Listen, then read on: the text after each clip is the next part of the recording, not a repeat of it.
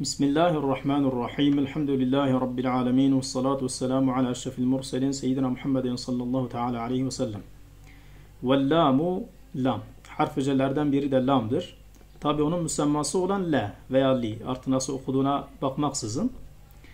E, çünkü ibarelerde müsemma gelir. isim gelmez. Buna göre el-lamu la'nın ismidir. La veya li. Lam, el-lam isimdir. La veya li ise müsemmadır. İbarelerden müsemma gelir. Yani biz müsemmayı görürüz ibarelerde. İsmi görmeyiz. Mesela el-malu li zeydin diyoruz. El-malu el-lami zeydin demiyoruz yani. Ha. Evet. O yüzden burada el-lamu derken onu müsemma olarak irade ediyoruz. İbarelerde çünkü müsemma kullanılır. İsimler gelmez. Bunu da gene ya mahalli garip hatta üzerine ya da mahalli ba'id ba üzerine atfedip gene oralarda icra edilen, tatbik edilen i'rabın vecihlerine ise lam için de geçerlidir. İşte ya bedel yapıyoruz, ya mübtede yapıyoruz, ya e, haber yapıyoruz, ya mef'ul yapıyoruz li fi'lin mahzuf. O zaman ellama okuruz yani. Evet o i'rabların vecihleri hepsi de lam için geçerlidir. Lam hangi mana için kullanılıyor? Diyor ki li temlik. Şimdi temlik mastarı manada. Mellekenin mastarıdır. Melleke yümelliku temliken. Temlik yani mülk edinmek. İlla mülk edinmek için gelmiyor ki yani. Temlik, mülk edinmek bizim vasfımızdır. Mütekellimin vasfıdır. O ne yapar? Bir mülkü başkasının e, mülkiyetine yani bir e, serveti, bir malı başkasının mülkiyetine geçirir yani. ha. Yoksa lam böyle bir görevi yok ki yani. Lam kalkıp e, bu mal işte Zeyd'e ait olsun, onun mülkiyetine geçirelim. Böyle bir şey yok yani. Ha. Orada müsamaha var. O yüzden el-evla temlik yerine lil milki desin. Milk. Milk için gelir. Yani lam aradaki o ihtisası, o istihkakı ifade etmek için geliyor. Yani Zeyd'in o mala sahip olduğunu, dolayısıyla o malın Zeyd'in mülkiyetinde olduğunu, e, Zeyd'e memluk olduğunu ifade etmek için geliyor. Başka bir görevi de yok yani. Ha. Değil ki yani o malı Zeyd'in mülkiyetine geçiriyor. Onu yapan biziz yani. O bizim vasfımızdır. Lam ise o alamettir. İhtisası ifade ediyor. Evet. Bu misalde lam vaka beyne zateyn iki zat arasında vakı olmuştur. Ee, ve yufidu enne thanihima yani o iki zattan ikincisi aha e, yemlikul evvele birincisine malik olmuştur. Ona sahip olmuş yani. Evet. Demek ki lam ne ifade ediyor? İki zat arasında vak olmuştur. İfade ediyor ki ikinci zat ki Zeyd'dir. Birinci zata yani mala malik olduğunu ifade ediyor. Dolayısıyla mal memlüktür. Zeyd ise malik oluyor. Bazen lam e, gene iki zat arasında vak oluyor. Ancak evet ikincisi gene birincisine malik olabilir. Yani o kabiliyete, o salahiyete sahiptir. Ancak birinci zat memluk olmaya salih değildir. Ne gibi? Mesela elhamdülillah derken burada da genel lam iki zat arasına vak olmuştur. Allah ile hamd arasına. Ne ifade ediyor? İfade ediyor ki Allah o hamde maliktir. Şimdi evet Allah malik olma salahiyetine sahiptir. Ama hamd memluk olmaya kabil değildir. Hamd nasıl memluk olacak yani ha? Yani o bir mülk müdür ki Allahu Teala'nın mülkiyetine geçirelim. Velil ihtisasi Lam ihtisas için de geliyor. Onun diğer ismi ise istihkaktır. Gerçi aralarında bir fark yapıyorlar. Ee, bunu ikinci dersimizde elhamdülillah bahsinde buna değinmiştik. Ee, hani demiştik işte nasıl bir fark var? Mesela el cennetu lil mu'minin en naru lil kafirin misalinde. El cennetu cennet lil mu'minin yani muhtassun lil mu'minin müminlere hastır. Muhtassun. Eğer bu şekilde mana dersek o zaman lam ihtisas olur. Eğer müstehikkun lil müminin dersek o zaman lam istihkak olur. Müstehikkun lil müminin. Dolayısıyla buradaki lam hem ihtisas hem istihkak olabilir. Aynı manada. Yani e, cennet müminlere hastır. Yani kafirler giremeyecek. Ve müminler cenneti hak ettikleri için cennet onlara e, layık görülmüştür. Dolayısıyla oraya dahil olacaklar. Ama ennaru lil kafirin derken cehennem ateşi lil kafirin. Allah muhafaza.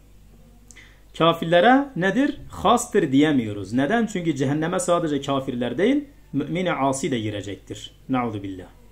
Dolayısıyla buradaki lam sadece istihkak içindir. Yani mustahikkunil kafir. Kafirler orayı hak ettikleri için oraya dahil olacaklar. Demek ki buradan sanki şöyle anlaşılıyor. Aralarında sanki umum husus min vardır.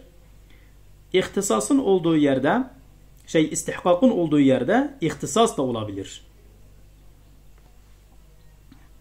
Gerçi öyle dersek burada e, ki mana olmuyor. Çünkü burada da istihkaktır ama ihtisas için değildir yani. Evet. Neyse öyle demeyelim. Yani bazı yerlerde hem ihtisas hem istihkak bazen de sadece istihkak için geliyor yani burada olduğu gibi. Bakalım ihtisasa nasıl bir misal vermiş. Nahu el cullu lil faras. El cullu, el cellu, el cillu üç şekilde de zaptı caizdir. Üç şekilde de zaptı caiz. Ee, çül, cül, çül demeyelim cül yani semer yani feresin atın üzerine bırakılan e, semer. Aha, o semer nedir? Lil feresi yani muhtassun lil feres. Ferese hastır. Yani başka biri için, başka bir hayvan için kullanılmaz. Burada da gene lam vaka beyne zaten iki zat arasında vak olmuştur. Ve ve la yufidu enne thaniye işte yemlikul evvela. Burada çünkü yani ifade ettiği mana şu değil. İşte feres nedir o cülle, o semere sahiptir, ona maliktir. Neden? Çünkü gayri akıldandır yani. Akıl sahibi değil ki ta ki onu mülkiyetine geçirsin. Evet.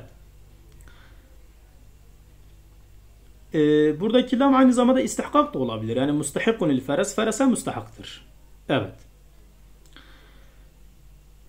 Demek ki nedir lam? Dedik ya temlik yani mülk içindir ya da ihtisas içindir. Yani li ifadeti enne ma ba'dehu ifade ediyor ki onun ma ba'di dahil olduğu isim nedir? Malikun lima qablehu. Ma kable nedir? Maliktir.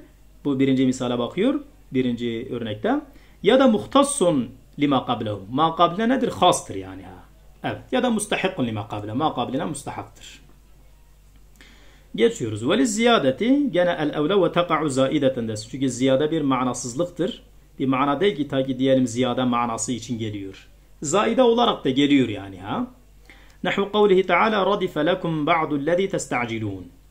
Radife lekum yani radifekum. Oradaki lam işte zaide. Tabi ayetlerde, hadislerde zaide e, tabirini kullanmak e, suul edeptir yani. En iyisi.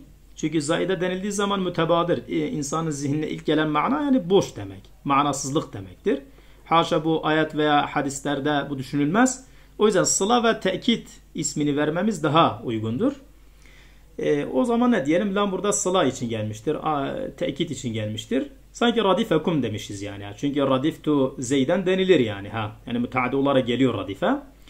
E, radifekum yani hemen akabinizde, peşinizde olur. Ba'dul lezi yani ba'dul azabil lezi yani azabın bir kısmı, bir parçası hemen akabinizde olur. Ve azab ki testa'cilune ya testa'cilunehu. Ellezinin sılası mahzuftur. A'idi mahzuf. Estağfurullah. A'id sıla değil.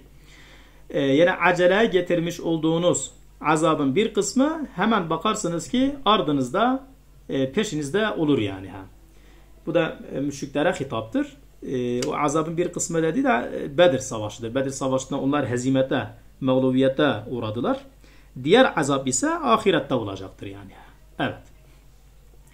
Radife fiildir. Lam sıla için gelmiştir. Kum e, mahallen mansub radifenin mef'uludur. Ba'du radifenin failidir. Ee, buradan mef'ulün takdim edilmesinin sebebi de mef'ul damiri muttasıl. Faal ismi zahir olduğu zaman mef'ulün takdimi nedir? Vacibidir. O yüzden buradan mef'ulü faalden önce getirmişiz.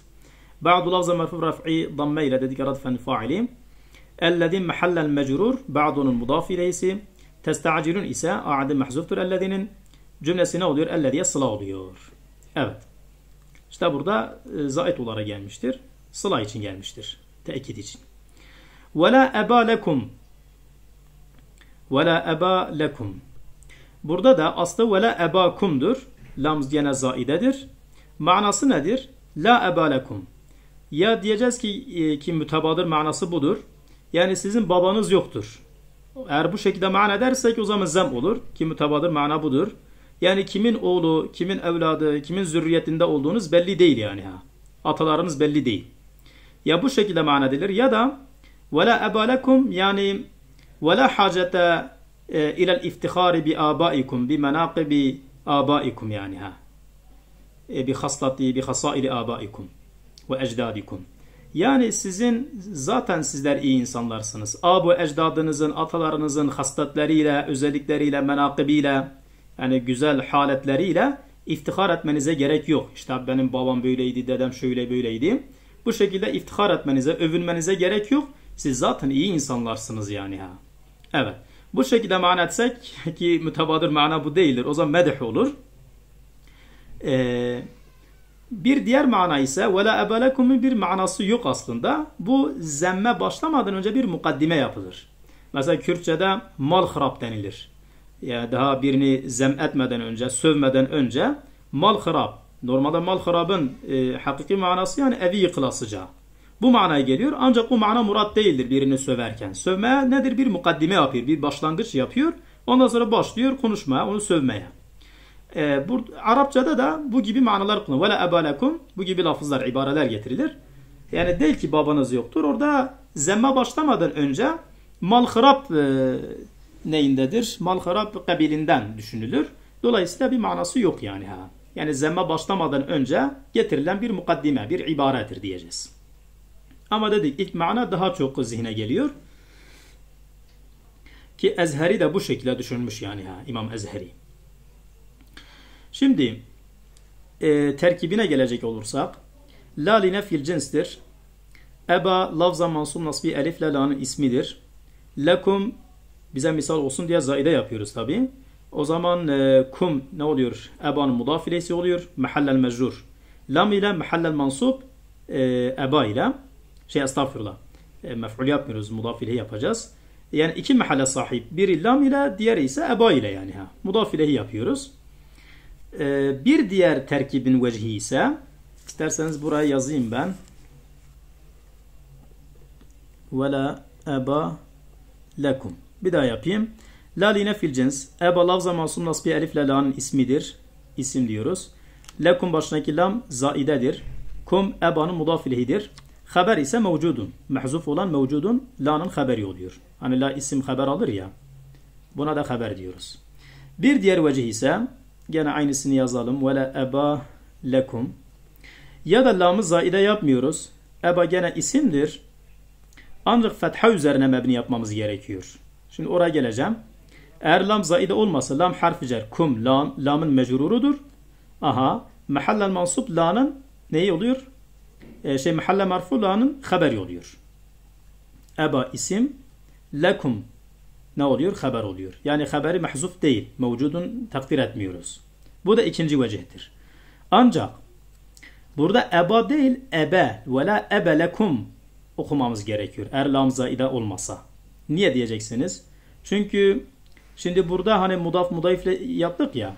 E, la'nın ismi mudaf veya şibhi mudaf olduğu zaman mehallen ve lafzan mansup olur. Yani mansup olarak gelir. Mu'rab olduğu için. Ama la'nın e, ismi müfret olduğu zaman fetha üzerine mebni gelmesi gerekiyor ki kaide bunu iktiza ediyor. Kaide gereği fetha üzerine mebni getirmemiz lazım. Çünkü artık mudaf mudaf ilehi yok burada. O zaman e, ve la ebe okumamız gerekiyor. E peki niye o zaman la eba lekum getirmişiz? Erlamı tabi zaide yapmasak ha. Ee, İbn Hacib de bunun üzerine konuşmuş. İstersen onun ibaresini okuyayım. O diyor ki ve yeridu aleyhi yani buna işgal varit oluyor. Enne isme la fi müfredin yani lan ismi burada müfred olduğu zaman fel kaidedu taktadi binaehu kaide istiyor ki e, ismi müfred olduğu zaman mebni olsun. İdi felime nusibe kel mudaf e, ve şibhihi. Neden burada mudaf ve şibhi mudaf gibi mansup getirmek zorundayız yani ha? Yani mansup gelmemesi gerekirdi. Ona da cevabın şöyle diyorlar. Diyor ki ve ucibe anhu bi enne hada terkibe ve in lem yekun terkiben idafiyen. Diyorlar ki bu evet terkibi idafi yok. Yani burada mudaf şibhi mudaf yok. Her ne kadar ki olmasa da ancak lakin ücriye mucrahu ve u'ribe bi i'rabihi. Mudaf ve şibh mudaf kabilinden olduğu için yani onlara benzediği için hangi yönden benziyor? İhtisas yönünden. Mesela la eba derken hani lamı zaide yapmasak mudaf mudaf ileyhi olacak ya hani. Eba mudaf kum mudaf ileyhi. Burada ne var? İdafede ihtisas var değil mi? Aha. Lekum eğer lamı zaide yapmasa gene ihtisas manası devam ediyor. İşte bu ihtisas yönüyle mudaf ve şibi mudafa benzediği için aha biz onu da ne yaptık? Mansup üzerine yani mu'rab olarak mansup getirdik. Yani mebni getirmedik yani ha. Demek ki burada mudaf menzilesine indirilmiştir. Bu sebepten biz onu ebe değil eba olarak getirmişiz. Evet cevaben bu şekilde diyeceğiz. Velil kasemi kasem için de geliyor. Nahve lillahi la yuakhirul ecele ya da la yuakharul ecelu. İki şekilde de okunulabilir. Lillahi uksimu billahi ya da aksamtu billah ya da halaftu, ahlifu artık ne takdir edersek yani ha. Allah'a kasem ederim ki la yuakhiru. Teahhir etmez kim? Allahu Teala. Faal müstetir Allah'a döner. Neyi teahhir etmez? El ecele eceli. Ecel geldiği anda onu kabul eder. Ya da lillahi uksim bil Allah'a kasem ederim ki la yuakharu. O zaman binay mef'ul binay mechul okuruz. El ecelu ise naibül faal olur. Yani ecel teahhir edilmez. Yani Allah tarafından. Evet. Demek ki yuakhiru okursak binay faal, binay ma'lum, la nafiye, faal müstetir Allah'a döner, el ecele mef'ul olur.